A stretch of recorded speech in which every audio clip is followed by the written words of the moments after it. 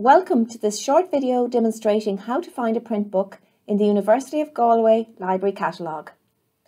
Firstly, you will need to navigate to the library website that is library.universityofgalway.ie and log in.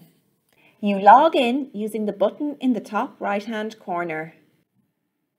If you are not sure how to log into the library catalogue, check out the previous video. You will know that you're logged into the catalogue when you see your name appear in the top right hand corner.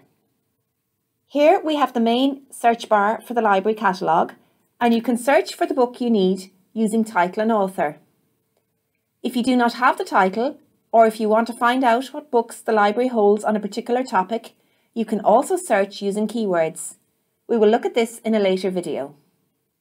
Assuming you have the title and author, type these into the search bar. Let's say that you're looking for the following book. Sollod R.N. Wilson J.P. and Monte C.F. 2009 Beneath the Mask, An Introduction to Theories of Personality, 8th edition. As the title is long, I'm just going to type the first part of it and the author's surnames. In this case, the book appears immediately. However, if you are getting a lot of results from your search, for example, if you knew the name of the book but not the authors, you can see in this case I received quite a number of results. I can tweak these results using the filters on the right hand side. I generally leave the sort by filter set to relevance. In this case, I'm looking for a book, so I'm going to select books from resource type. And other particularly useful filters which you may need to use are availability and creation or publication date.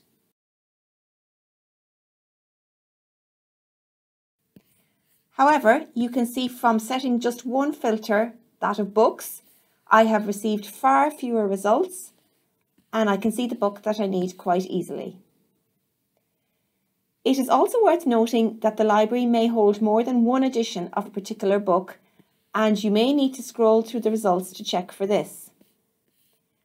However, in this case, the library only holds the 8th edition of this particular book, so only that one appears.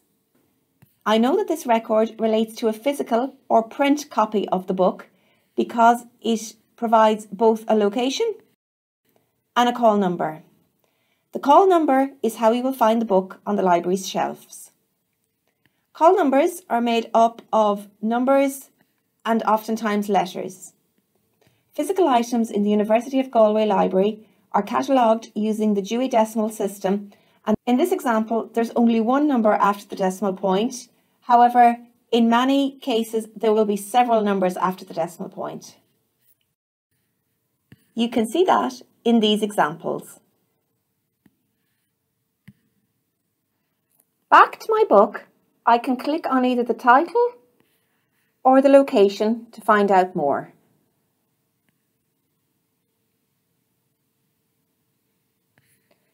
This takes me to a screen where I can again see the location and the call number. However, I can also see how many copies of the book the library holds and how many are available at this point in time. I can also see the loan policy of the various copies of the book here. And I can see that most copies are subject to a short-term loan of either one day or three days. So now you know how to find a print book in the University of Galway Library catalogue.